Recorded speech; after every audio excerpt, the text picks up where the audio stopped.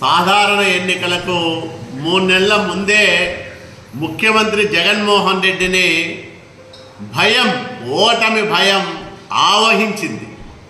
మొన్ననే పదకొండు మంది అభ్యర్థి నాయకులకు స్థానచలనం చేశాడు ఇందులో ముగ్గురు మంత్రులు ఉన్నారు. అంటే క్యాబినెట్ సహచరుల స్థానాలే మార్చాడంటే నైతికంగా ఈ ప్రభుత్వం ఓడిపోయినట్లే లెక్క. మంత్రులే గెలవకపోతే సామాన్యమైన ఎమ్మెల్యేలు ఎట్లా గెలుస్తారు? సుధాకర్ లాంటి సీనియర్ ఎమ్మెల్యేని పక్కన పెట్టితే ఎలాంటి సంకేతం పంపిస్తున్నాడు? నూట యాభై ఒక్క మందిలో డెబ్బై మంది పైన ప్రజా వ్యతిరేకత వ్యక్తమవుతా ఉందని సొంత సర్వేలే ముఖ్యమంత్రికి చాటి చెప్తా ఉంటే ఆ చేదు నిజం జీర్ణం కాలేక ఇట్లాంటి మార్పులు చేర్పులు వేసుకుంటా ఉన్నాడు. మార్చాల్సింది వైసీపీ అభ్యర్థులు కాదు. ముఖ్యమంత్రిని మార్చాలని ప్రజలు సిద్ధమై ఉన్నారు మానసికంగా.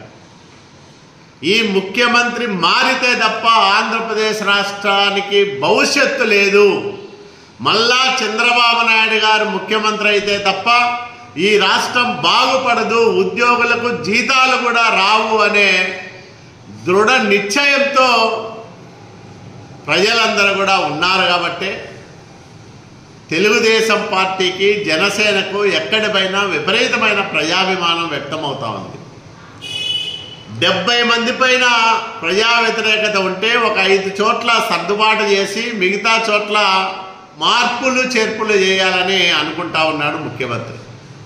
ఇరవై ఆరు మంది ఎమ్మెల్యేలు తీవ్రమైన తీవ్రాతి తీవ్రమైన ప్రజా వ్యతిరేకతను ఎదుర్కొంటున్నారని తాజాగా ఒక సర్వే లెక్క తెలిసింది ఆ ఇరవై ఆరు మందిలో రాయదుర్గం ఎమ్మెల్యే కాపు రామచంద్రారెడ్డి ఉన్నాడు. తాజాగా వైసీపీ మార్చాలని సిద్ధం చేసిన జాబితాలో కాపు రామచంద్రారెడ్డి ఉన్నాడని ఈరోజే పత్రికల్లో చూసాం మనం. కాపు రామచంద్రారెడ్డి అభ్యర్థి అయితే మాకు యాభై వేలకు పైబడి మెజార్టీ వస్తుందని నేను ఇప్పటికే ప్రకటించాను. ఒకవేళ అభ్యర్థి మారితే కాపు రామచంద్రారెడ్డికి టికెట్ ఇవ్వకపోతే ఇంకొకరిని పెట్టుకుంటే ఒక నాలుగైదు వేల ఓట్లు మెజార్టీ తగ్గచ్చు మాకు. అంతే తప్ప గెలుపును అభ్యర్థుల మార్పు ప్రభావితం చేయబోదనే సత్యాన్ని వైసీపీ నాయకత్వం ఇప్పటికి కూడా గ్రహించినట్లు లేదు. నష్ట నివారణ చర్యల్లో భాగంగా అభ్యర్థులను మార్చి కొత్త ముఖాలని ప్రజల ముందు పెట్టాలని అనుకుంటా ఉంది వైసీపీ నాయకత్వం. మరి జగన్మోహన్ రెడ్డిని ఎక్కడ పెడతారు? ఎక్కడ దాచిపెడతారు?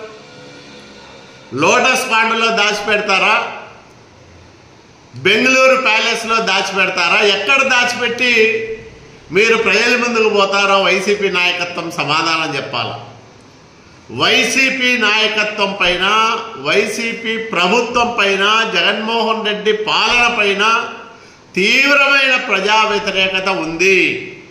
అన్ని వర్గాల ప్రజలు తీవ్రంగా వ్యతిరేకిస్తా ఉన్నారు. వచ్చేది తెలుగుదేశం పాలనే.